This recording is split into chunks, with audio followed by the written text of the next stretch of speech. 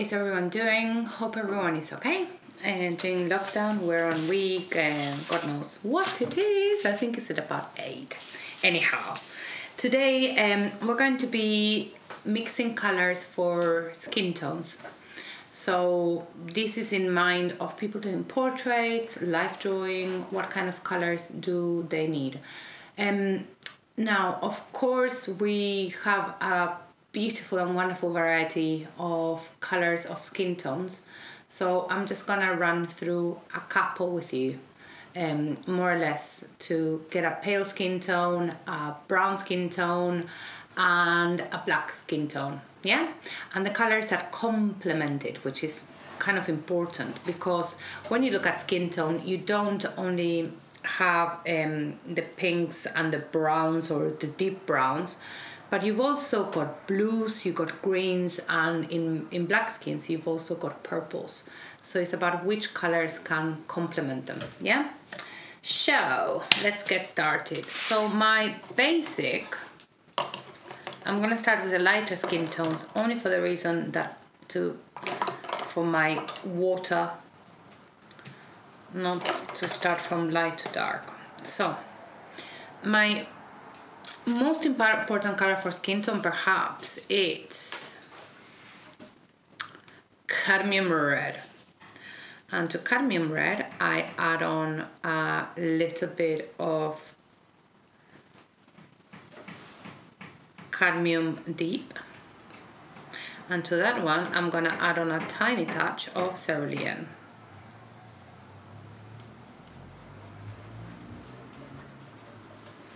okay so I get to this color.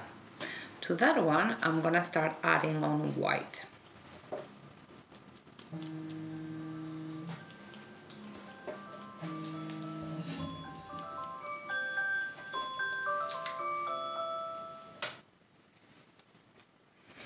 So I've arrived to kind of like a pinky color and this can be a good kind of like starting one, one of the colors that I'm gonna be using and I'm gonna show you what happens if I add on a little bit more orange to make it a little bit warmer.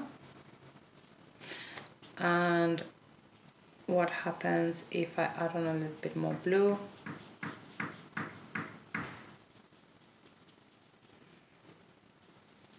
To get it a little bit darker and a little bit duller yeah and to this one I'm also going to add a little bit of white to make it a little bit paler.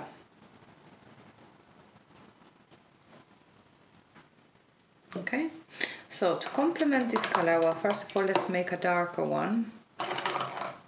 So we've got quite a few lights and we've got quite a few mids, so we're gonna need a bit darker ones. So I'm gonna add on a little bit of the Prussian, make it a little bit purplish. I'm gonna add on a little bit of crimson. And I'm gonna add on some cadmium. And there I've got a darker brown. Okay, I might need to dull it down a little bit with some lemon yellow and if I need a lighter version I can use that one. So this palette would complement quite well because it's kind of like white white skin. I would complement this with probably a little bit of blue colors. Kind of like greeny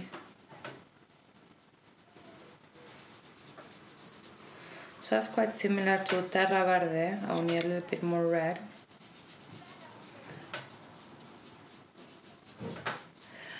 And this color was used traditionally on the underpainting of Renaissance skin tones. And if I put a little bit of white, I get that. I can make it a little bit richer. that would be a good color to paint on veins. If I need a little bit darker, I'm just gonna add on a little bit more Prussian blue. Okay.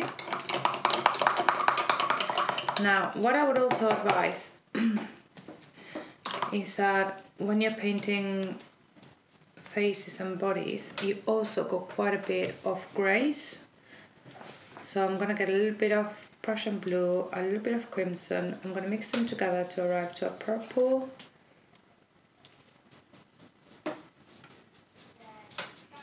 And to this I'm gonna add on a little bit of cadmium, a little bit of lemon yellow. Mix them all together. Stick a little bit of white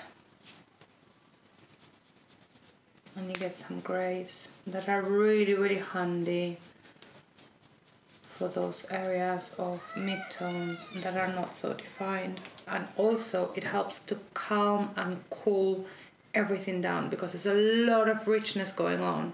So I need some dullness to balance it out yeah?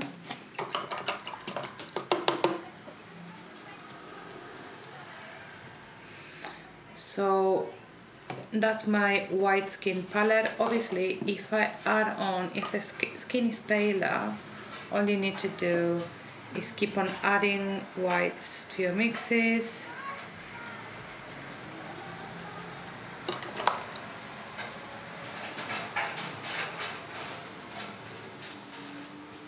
And you get lighter tones. Yeah can also mix them up a little bit. Yeah, so that would be a white skin tone. Now let's go into our browns.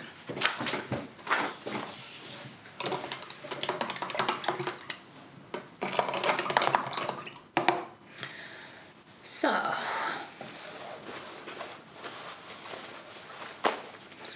a bit more tissue. So for darker ones, I'm gonna start with cadmium as well. I'm gonna stick a little bit of crimson. And I'm gonna add on to that as well some cadmium.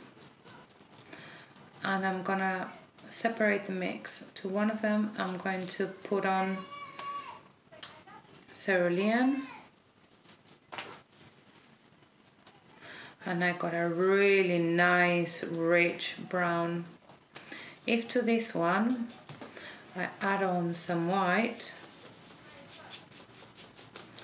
And because it's become really really dull I'm just gonna stick on a little bit of that one mix it with a bit of this one. Becomes nice and rich again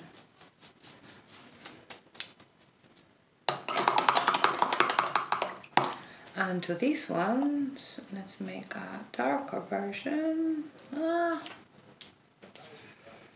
and we're gonna get this one again.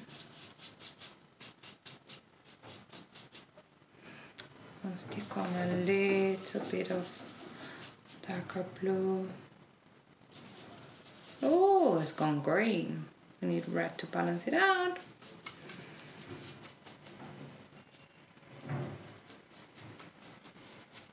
and I got a darker brown.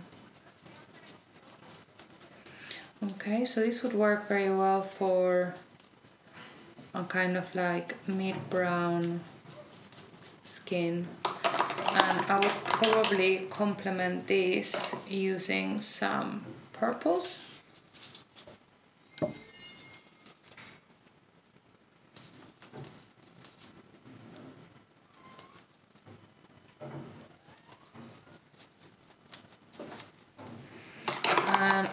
probably stick on a little bit of blues.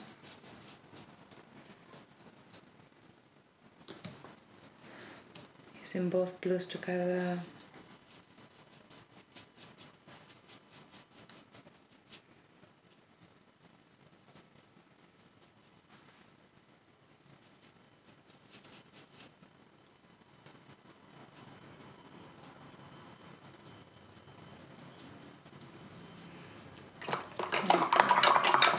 So here I've got them all on pretty dark versions. I want to show you what happens when I add on whites to each color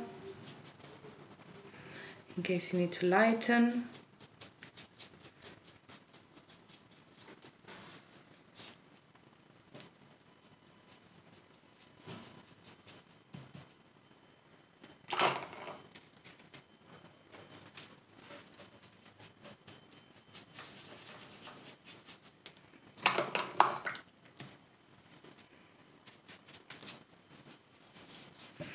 It's very important when you are preparing for a portrait, especially if you're preparing for something you're gonna do live, like a live drawing or a live portrait, is that you have um, a range of um, values or tones, so that you've got darks, mediums, and lights, and different variations in between them. So if you get that with a balance of very dull colors and very rich colors. It would work really much on your favor and it will make it much easier while you're painting. So really the biggest the palette that you mix the better okay? So I'm gonna leave that for kind of like brown or tan skin tones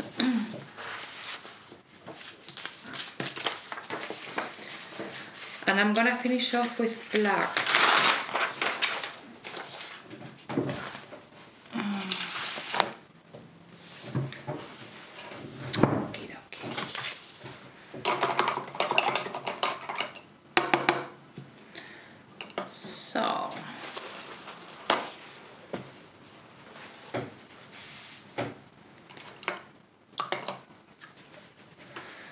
For black skin tones, I'm gonna get started with cadmium, as per always. I'm gonna put in a little bit of, quite a lot actually, of crimson. I'm gonna put a little bit of my cadmium yellow and to this mix I'm gonna put some Prussian blue. And that's a really, really, really dark color that I've got there, yeah? So if I need to lighten, I can just add on a little bit of the cadmium yellow. So I think this one is a really, really beautiful color. It's really, really rich. So I'm gonna leave it in my palette for some areas but I want to show you what happens if I mix it with this one.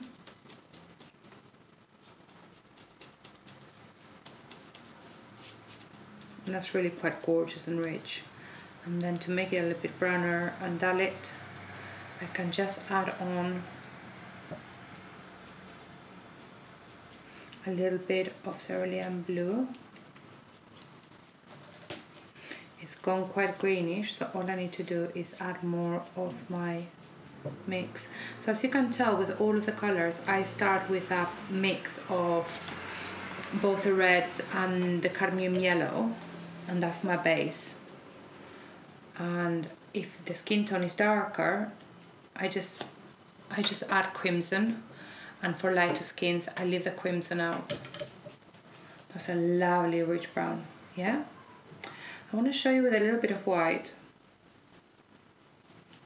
so that you can see the color in a lighter form.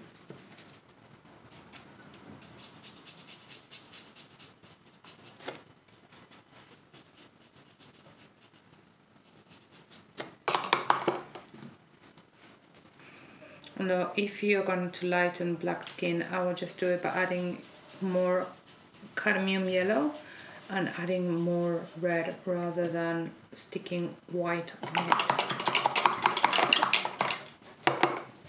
Yeah. Now to complement these colors black skin looks beautiful with purple. So I'm gonna grab my darker red and my darker blue.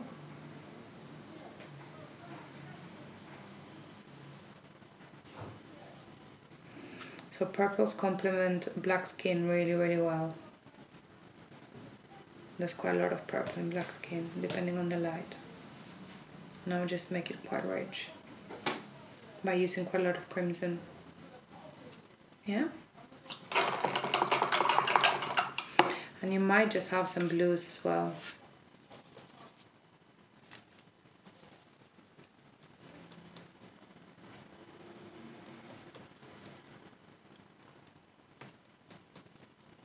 That you might want to stick somewhere. Okay. So that's going to be pretty much it for today. That's your basic color palette. Uh, I think it's really important to be creative when you are doing portraits and doing bodies and just observing the variety of grays that you have in many, many areas. Also, seeing how many greens we've got in our skin and just really, really looking very, very deep at the amount of colors that you can that you can actually use for skin tones. It's really good to look at painters like Lucian Freud. He had an amazing palette for skin tones, and I also really like um, see the book because I've forgotten her name. Jenny Saville. She's really really good as well on on on a contemporary palette for skin tones. I hope you've enjoyed this and I really really hope that it's going to be coming in handy for the next time that you are painting people. All the best and see you soon. Bye bye.